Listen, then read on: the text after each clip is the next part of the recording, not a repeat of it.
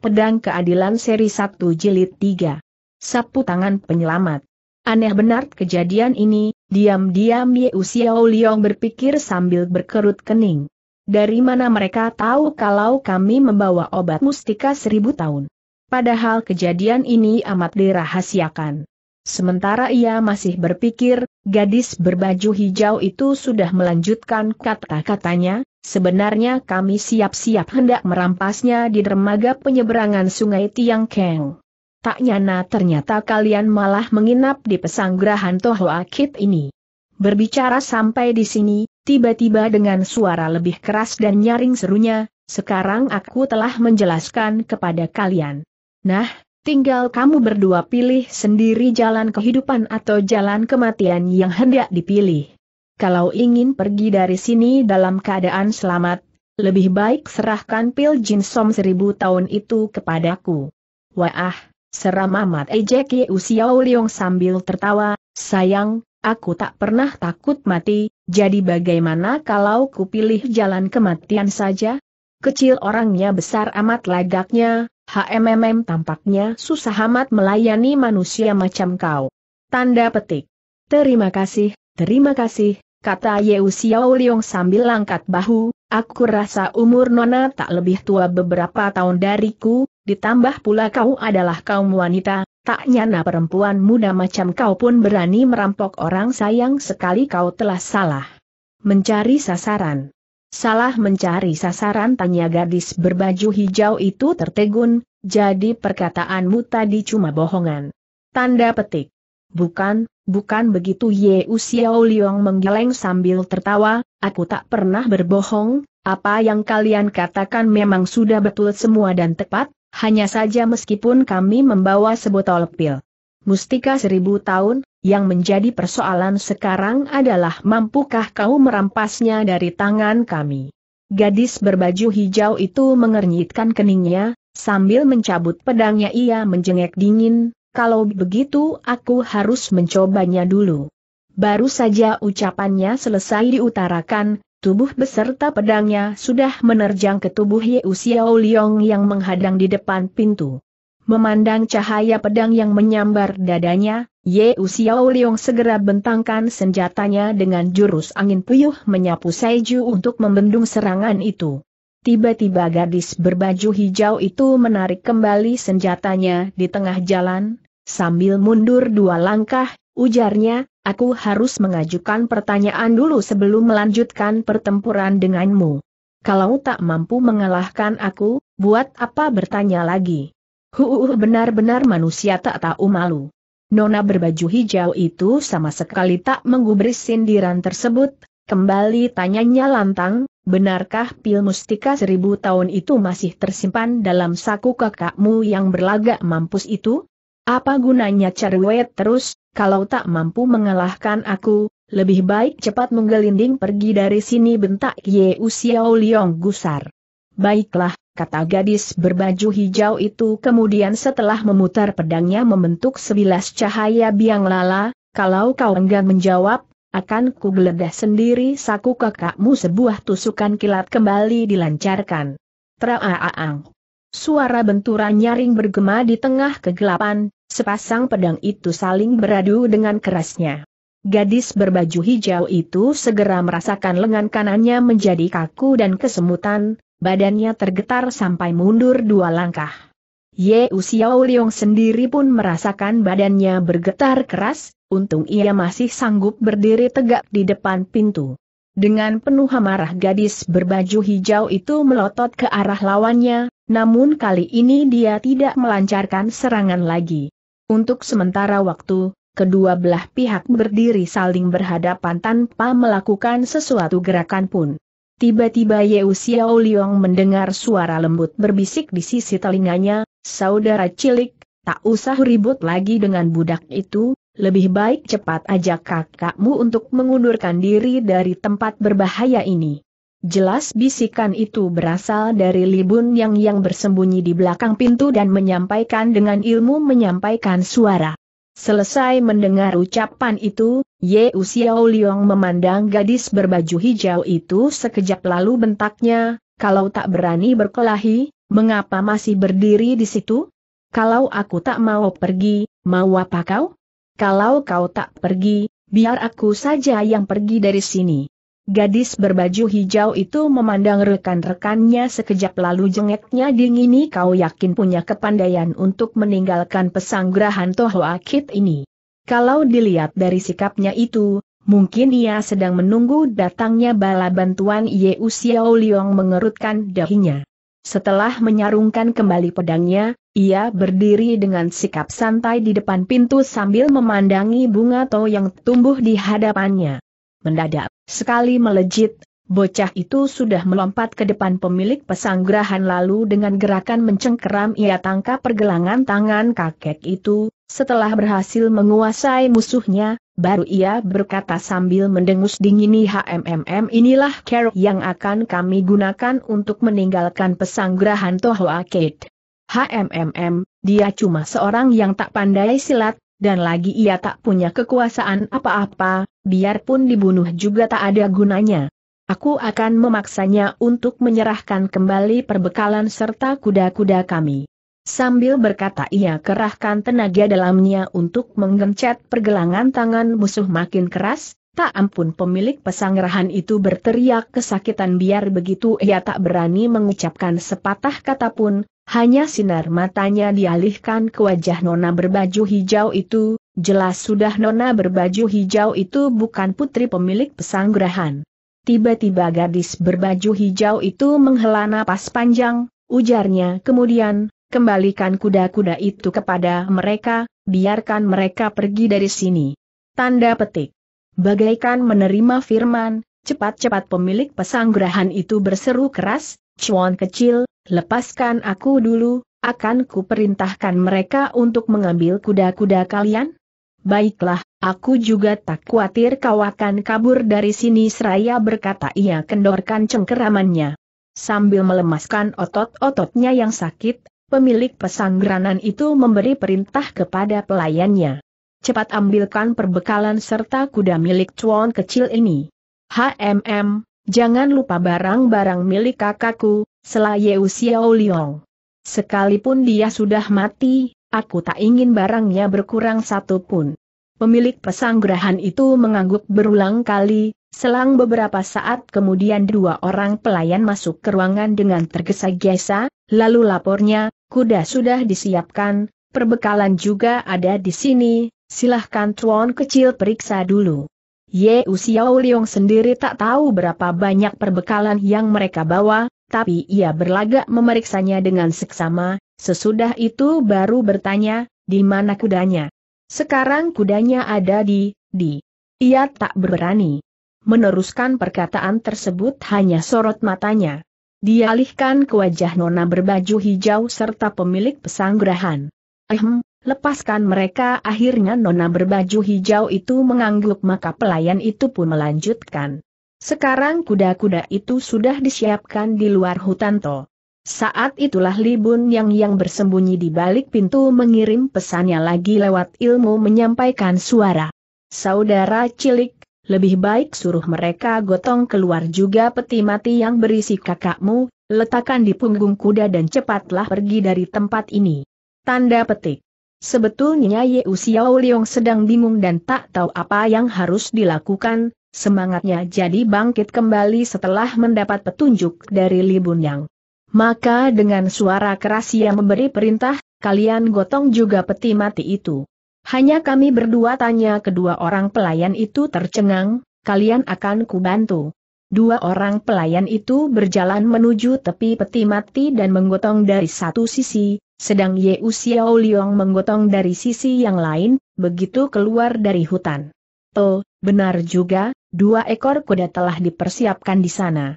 Sesuai dengan petunjuk dari Libun Yang, Yeu Xiao Liong meletakkan peti mati itu di atas punggung kuda setelah mengikat semua perbekalannya, baru ia melompat naik ke punggung kuda. Pada saat itulah bayangan manusia nampak berkelebat lewat, gadis berbaju hijau itu sudah menyusul datang sambil bertanya, apakah kakakmu benar-benar sudah mati? HMMM mati hidup adalah kejadian luar biasa, buat apa aku bicara sembarangan? gadis berbaju hijau itu berjalan menghampiri peti mati, tiba-tiba ia menghantam peti mati itu keras-keras, setelah itu baru ujarnya. Untung dia membawa pil jinsom berusia seribu tahun yang berkhasiat menghidupkan kembali orang mati, moga-moga kakakmu bisa hidup kembali setelah menelan pil mestika tersebut. Ye Xiao Liong temukan di atas peti mati itu samar-samar tertera bekas lima jari yang terukir nyata, tapi ia percaya penuh dengan kepandaian silat yang dimiliki kakaknya, meski sadar bahwa nona berbaju hijau itu sudah melepaskan serangan gelap namun hal itu tidak terlalu dipikirkannya di dalam hati. Tanpa membuang tempo lagi dia tuntun kudanya dan bergerak meninggalkan tempat itu.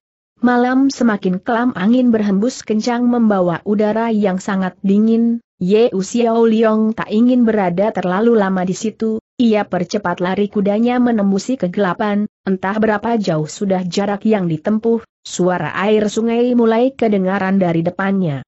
Ketika ia alihkan pandangannya ke muka, terlihatlah bentangan air sungai yang amat lebar telah menghadang perjalanannya, ternyata ia telah tiba di tepi sungai. Tiang Keng. Saudara cilik, berhentilah sebentar, tiba-tiba terdengar suara teguran yang rendah dan berat bergema dari arah belakang. Cepat-cepat Ye Xiao Liong menghentikan lari kudanya sambil berpaling, tapi ia menjadi amat terperanjat, ternyata Li Bun yang yang berada di sampingnya, tanpa ia sempat menyadari kapan datangnya orang itu. Wah, cepat nian gerak tubuh orang ini pikirnya. Sementara itu Libun yang telah berkata lagi sesudah memandang peti mati itu sekejap, kita sudah jauh meninggalkan hutan Toa Hoatin, aku rasa kita tak perlu bersandiwara seperti ini lagi, cepat buka peti mati itu, kita lihat apakah saudaramu telah terlu. Tanda petik. Belum selesai perkataan itu, penutup peti mati di atas punggung kuda tiba-tiba sudah mencelat ke udara.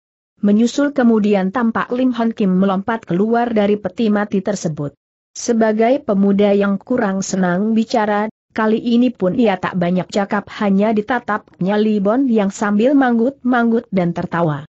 Biarpun senyuman mulai membentuk di ujung bibirnya, namun tidak melenyapkan kemurungan yang menyelimuti wajahnya. Ada apa tanya Libun yang agak tertegun apakah kau terluka Lim Hon Kim menggeleng, ia tetap membungkam. Maaf saudara Li, Ye Xiao Liong cepat-cepat menyela, kakakku paling tidak suka banyak bicara. Aku saja yang sudah belasan tahun berkumpul dengannya juga mendapat perlakuan yang sama. Biasanya ia tak banyak bicara, kalau perlu pun ia cuma bicara sepatah dua patah kata saja. Aku dapat memaklumi wataknya itu, Libun yang tertawa, setiap orang memang mempunyai watak aneh yang berbeda. Kalau toh saudara Lim enggan banyak bicara, aku pasti tak akan memaksa. Tiba-tiba Lim Hon Ki menghela napas panjang, selanya, saudara Li, kalau ada persoalan katakan saja sekarang, aku siap mendengarkan. Saudara Lim, kata Li Bon yang setelah mendehem beberapa kali. Setelah mengalami sendiri peristiwa yang baru saja berlangsung, tentunya kau mengerti bukan bahwa tuduhanku bukannya tanpa dasar. Lim Hon Kim manggut-manggut, setelah memandang lawan bicaranya sekejap. Li Bon yang melanjutkan, semula kukira saudara Lim dan saudara cilik ini telah celaka oleh perbuatan manusia-manusia keji Tohua Kit sehingga aku segera memburu datang untuk memberi bantuan. Tapi setelah menyaksikan ilmu silat saudara Lim, baru ku sadari bahwa kalian adalah jago-jago tangguh yang tidak membutuhkan bantuanku, saudara Lim, bukan aku sengaja memujimu, tapi beberapa jurus serangan yang kau pergunakan tadi benar-benar hebat, belum pernah kujumpai jago setangguh kau sebelum ini. Lim Hon Ki menggerakkan bibirnya seperti ingin mengucapkan kata merendah, tapi hanya bibirnya yang bergerak tak kedengaran sedikit suara pun yang terucap keluar. Kembali Libun yang termenung sambil mengawasi wajah pemuda itu, lalu terusnya. Sebenarnya aku ingin minta bantuan dari saudara Lim untuk menyelidiki siapa gerangan otak di belakang layar Toho Arcade. Tapi sekarang aku sudah berubah pikiran. Mengapa berubah pikiran tanya Xiao Liong keheranan. Menurut hasil analisisku, meskipun rencana keji yang sedang diatur pihak Tohua Kit mempunyai dampak yang sangat besar terhadap keamanan dunia persilatan namun mereka tak bakal melaksanakan rencananya dalam waktu singkat sebaliknya saudara Lim telah menempuh perjalanan jauh dengan membawa pil mustika seribu tahun menuju kota Kimling. Aku yakin kau pasti sedang mengemban suatu tugas maha penting bukan? Lim Hon Kim manggut-manggut, Sebelum ia memberikan jawabannya, Ye Xiao Liong telah menyela lebih dulu, Ya A, kami sedang menuju kuil Ching Im Koan di kota Kim Ling untuk menghantar obat buat seorang tua, tapi sekarang obatnya sudah hilang. Aaai biasanya Toako sudah jarang bicara dan selalu bermuram durja, apalagi setelah mengalami kejadian ini, bisa dibayangkan apa yang akan terjadi dengannya. Ketua Ching Im Koan ada hubungan yang cukup akrab dengan keluargaku, bagaimana kalau kudampingi perjalanan kalian berdua sehingga bila perlu dapat memberikan bantuannya? Aaai, Lim Hon Ki menghela napas panjang, guruku harus membuang banyak pikiran dan tenaga untuk membuat sebotol jin som seribu tahun, bahkan ia sampai terluka parah dan butuh istirahat yang cukup untuk memulihkan tenaganya gara-gara pembuatan obat tersebut, tapi sekarang, aku tak mampu melindungi obat tersebut, bahkan dicuri orang pun tanpa kusadari, aku benar-benar tak punya muka untuk bertemu lagi dengan guruku. Tanda petik. Tiba-tiba sorot mata, tajam terpancar keluar dari balik wajahnya yang murung, terusnya, biarpun obatnya sudah hilang, tapi aku tetap akan melanjutkan perjalananku menuju kuil Ching Im Koan.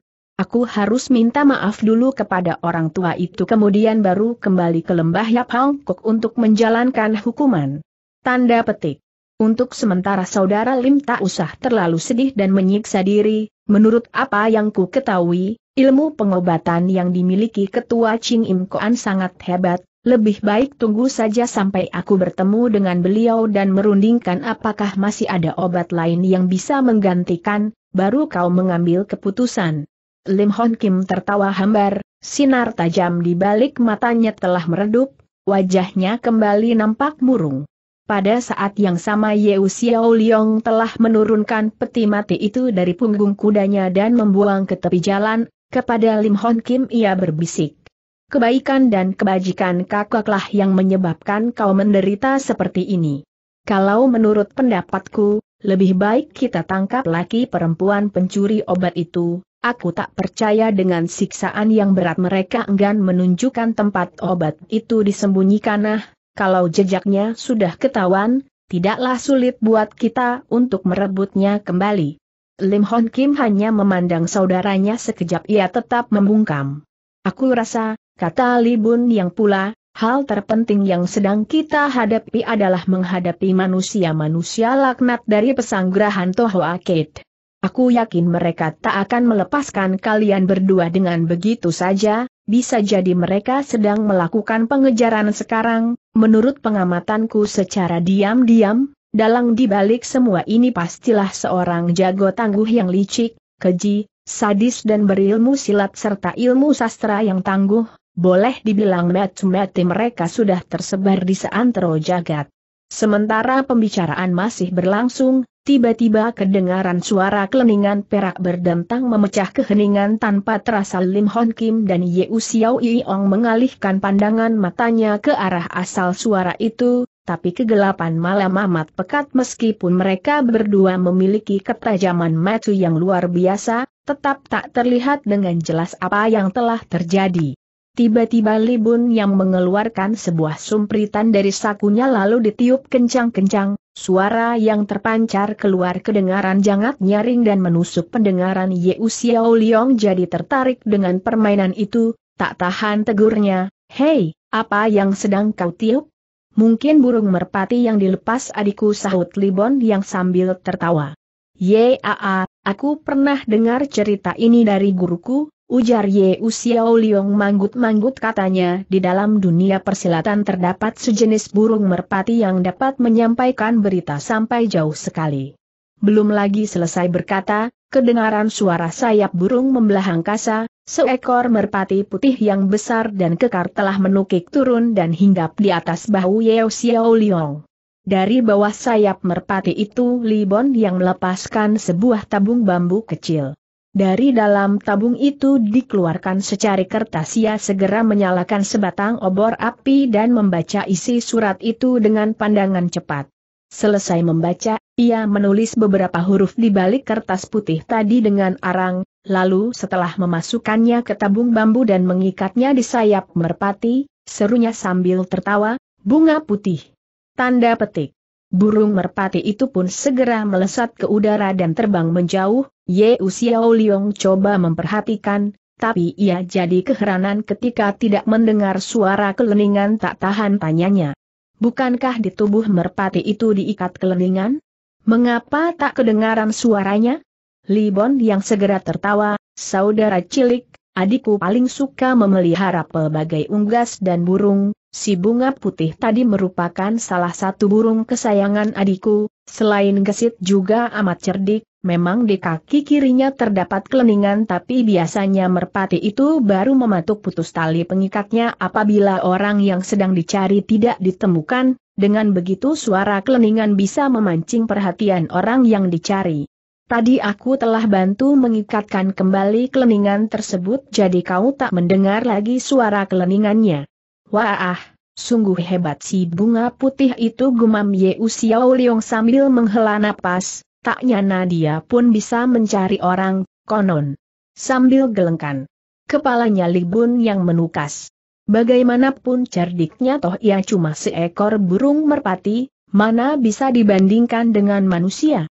Si bunga putih memang jagoan di antara burung merpati, ia cerdik dan hebat, tapi tidak seperti yang didongengkan orang, bisa mencari orang di tempat jauh. Lantas bagaimana caranya ia bisa mencarimu di pesanggrahan Tohoa Kit ini?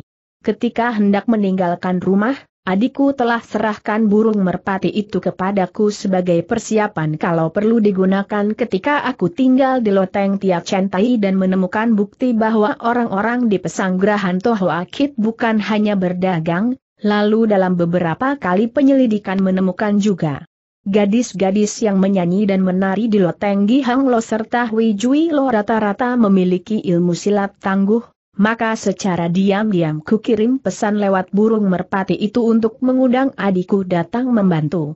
Aku takut bila sampai terjadi pertarungan di sarang jago-jago tersebut aku tak sanggup menahan diri, siapa tahu tunggu punya tunggu burung itu belum balik juga. Tak disangka baru malam ini ku terima surat jawabannya. Kalau begitu lebih baik saudara Li tinggal di sini saja menanti kedatangan adikmu, tukas Lim Hon Kim tiba-tiba. Biar kami berdua meneruskan perjalanan ke Ching Im Koan. Kau tak usah khawatir, kata Li Bun yang tertawa, dalam surat balasan tadi aku telah mengajaknya bertemu di kuil Ching Im Koan.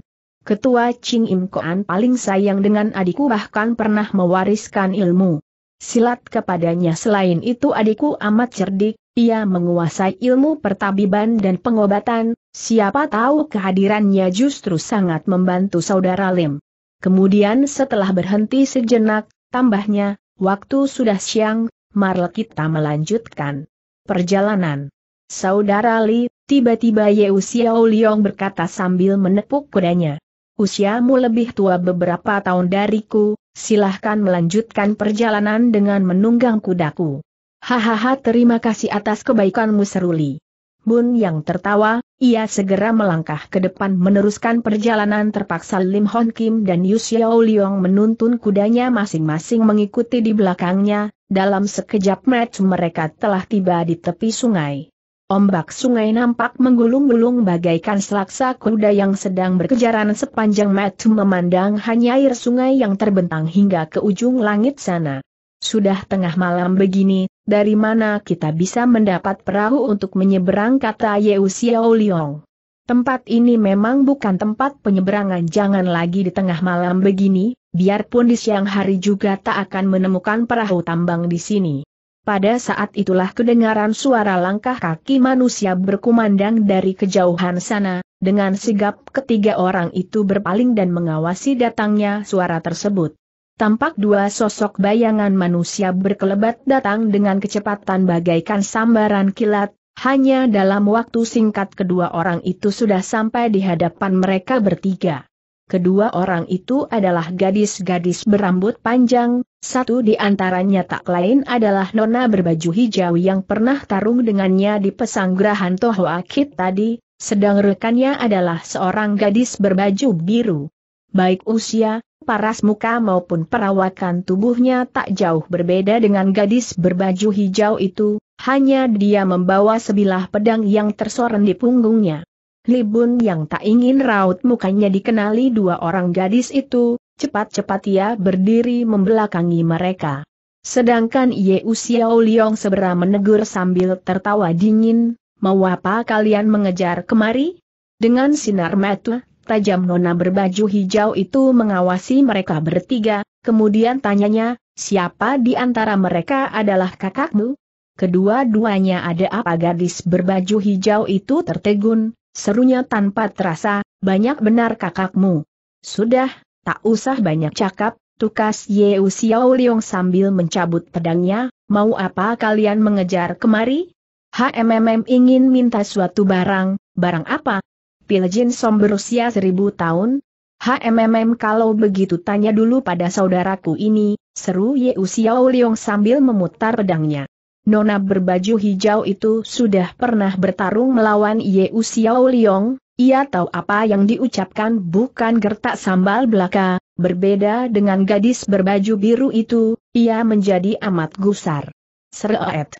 Pedangnya diayunkan ke muka melancarkan serangan, bentaknya nyaring, kau pingin mampus rupanya dengan jurus gadis langit memutar tombak ia langsung tusuk dada bocah itu.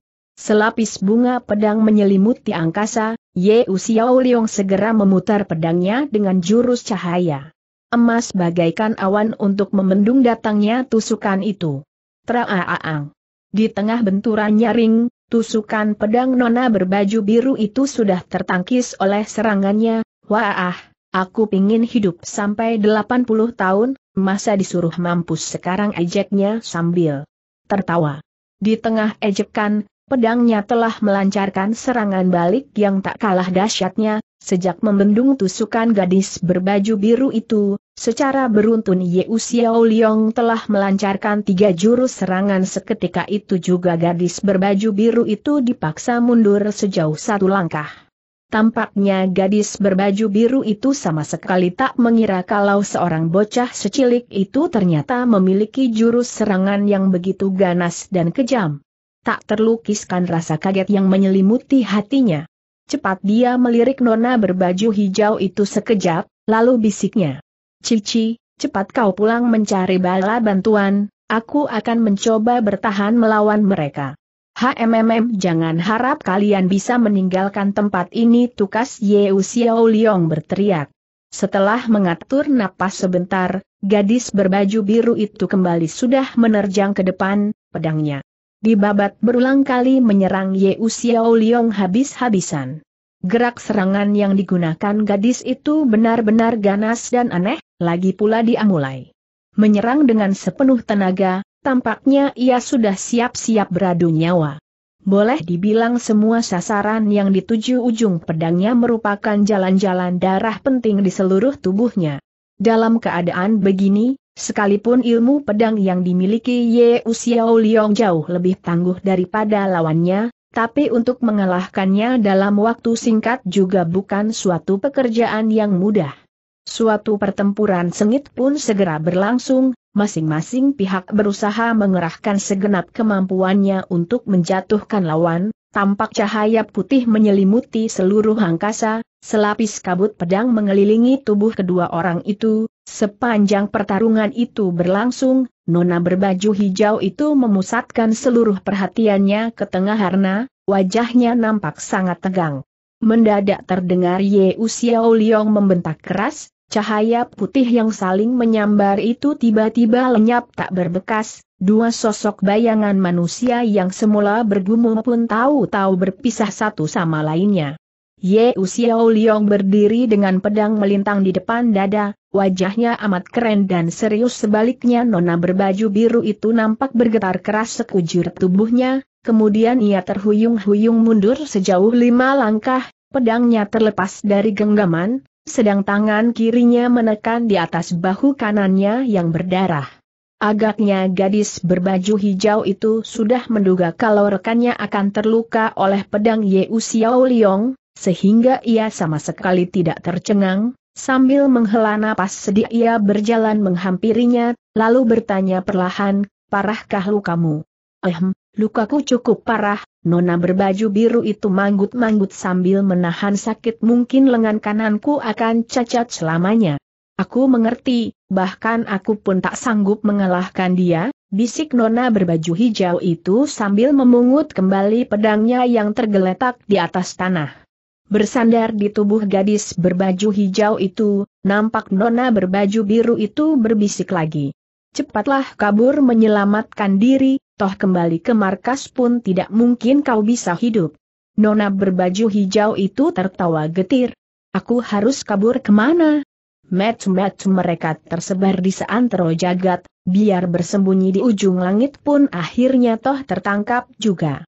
Di tepi sungai yang sepi, kegelapan malam yang kelam, dua orang gadis itu berdiri saling berhadapan dengan air mata bercucuran. Pemandangan ini benar-benar menghibahkan hati, Ye Xiao Liong berpaling sekejap ke arah kakaknya, setelah menyarungkan kembali pedangnya kepada dua orang gadis itu katanya kalian boleh pergi gadis berbaju hijau itu mengeluarkan secarik sapu tangan untuk membalut luka di bahu rekannya, kemudian sambil menggandeng tangan gadis berbaju biru itu ia berjalan menuju ke tepi sungai. Ye Xiao Liong jadi sangat keheranan, pikirnya, masa mereka berdua akan menyeberang ke tepi seberang dengan berenang? Kalau tidak mengapa menuju ke tepi sungai?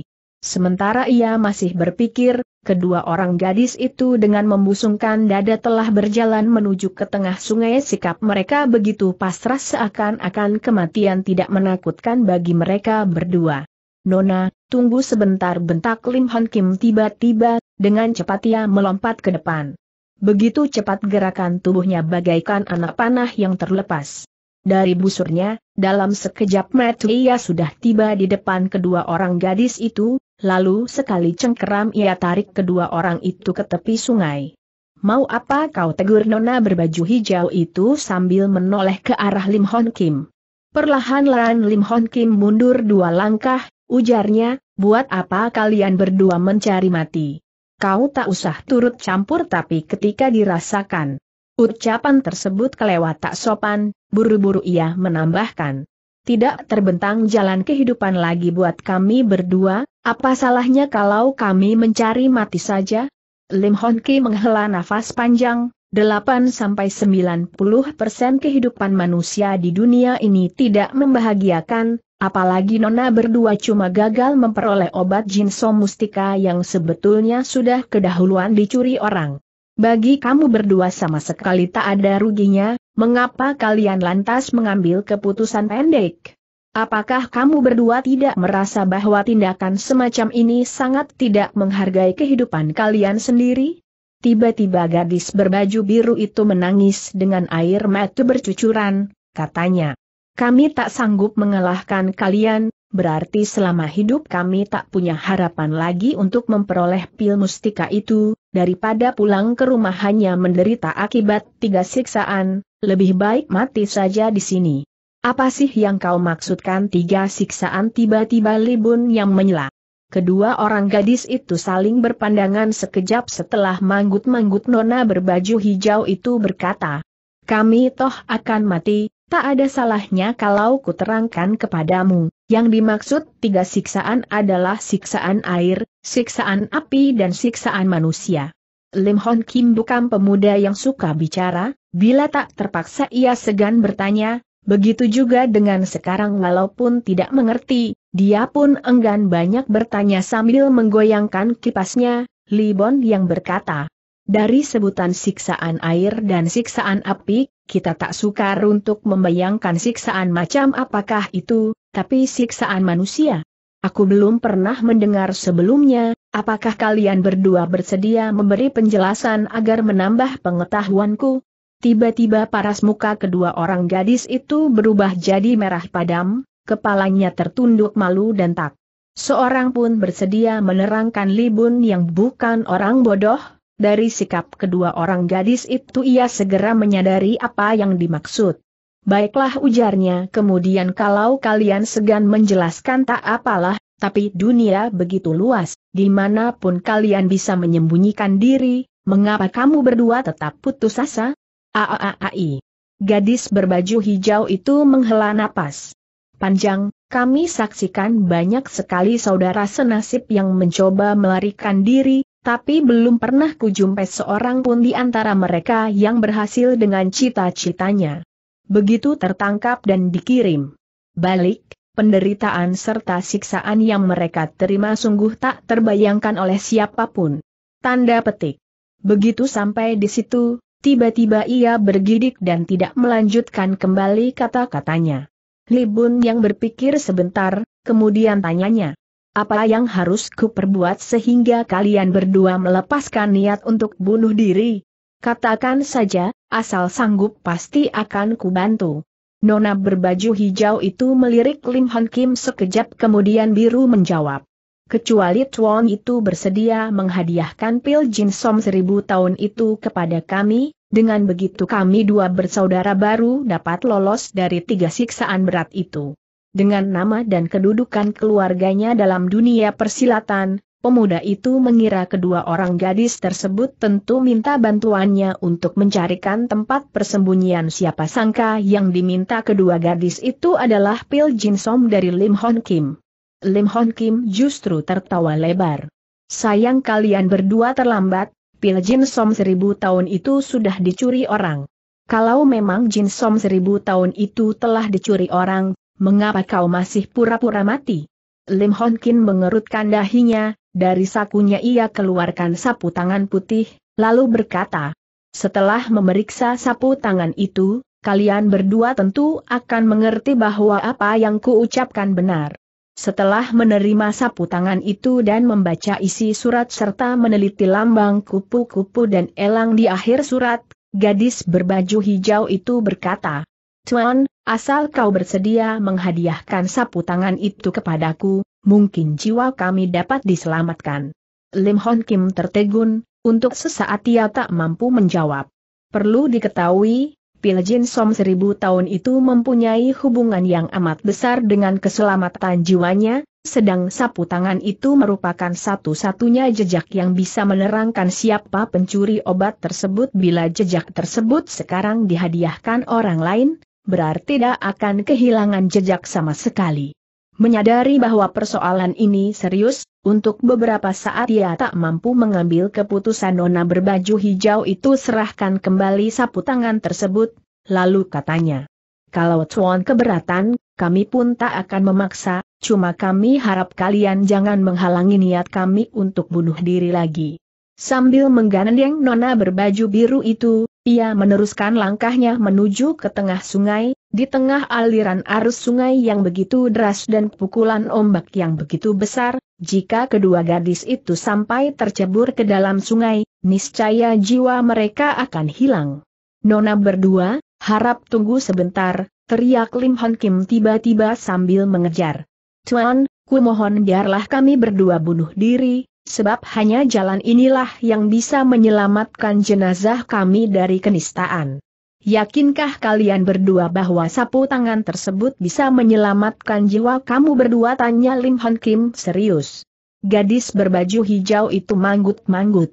Lambang kupu-kupu serta alang yang tertera di akhir surat itu pasti merupakan lambang dari pencuri obat mustika itu, dengan adanya jejak tersebut berarti kami bisa pulang untuk memberi laporan kepada nona kami.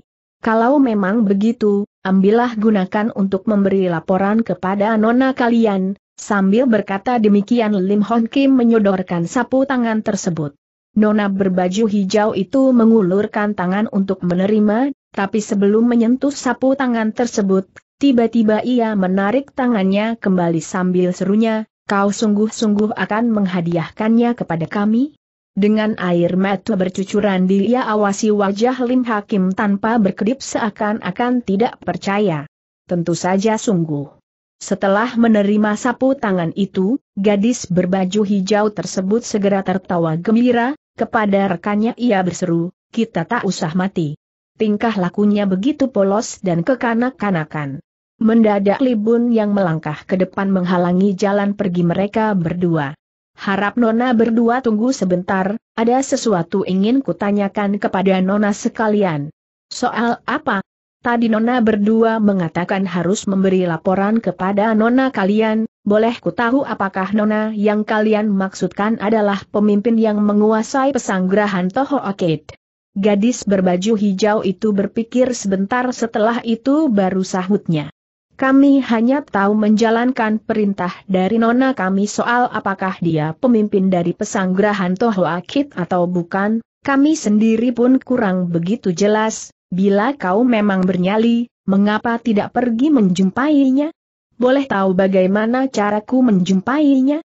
Cari saja Liok Ling di loteng Hui Jui Lo selesai berkata cepat-cepat dia tarik tangan rekannya dan terburu-buru meninggalkan tempat itu memandang bayangan punggung kedua orang gadis itu hingga lenyap di kejauhan, Libon yang menghela napas panjang, dia seperti ingin mengucapkan sesuatu tapi segera diurungkan setelah termenung sejenak dia berpaling dan bisiknya. Saudara Lin, dunia persilatan penuh dengan kelicikan dan tipu muslihat, Bila kau harus bersikap jujur terhadap setiap orang, bagaimana mungkin kau bisa bergerak dalam dunia persilatan? Lim Hon Kim hanya tertawa hambar, memandang arus sungai yang mengalir deras dia hanya membungkam diri.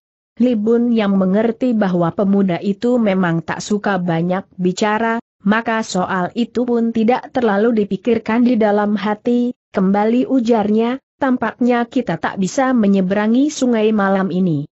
Bagaimana kalau kita menuju ke dermaga penyeberangan usul Ye Xiao Liong sambil angkat bahu?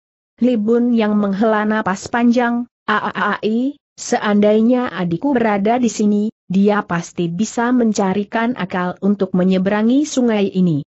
Berkilat sepasang mata Lim Hon Kim, dia seperti hendak mengucapkan sesuatu tapi kemudian niat tersebut diurungkan wajahnya kembali teriak murung dan sedih seolah-olah perasaannya sedang diselimuti kekesalan yang dalam sehingga tidak tertarik oleh persoalan apa pun. Tiba-tiba, di tengah gulungan ombak dan arus sungai yang deras, muncul setitik cahaya lampu di kejauhan, tak lama kemudian muncullah sebuah perahu yang amat besar meluncur mendekat. Dengan pengalaman yang begitu luas, Libon yang segera curiga setelah melihat kehadiran perahu itu, kepada Lim Hon Kim bisiknya.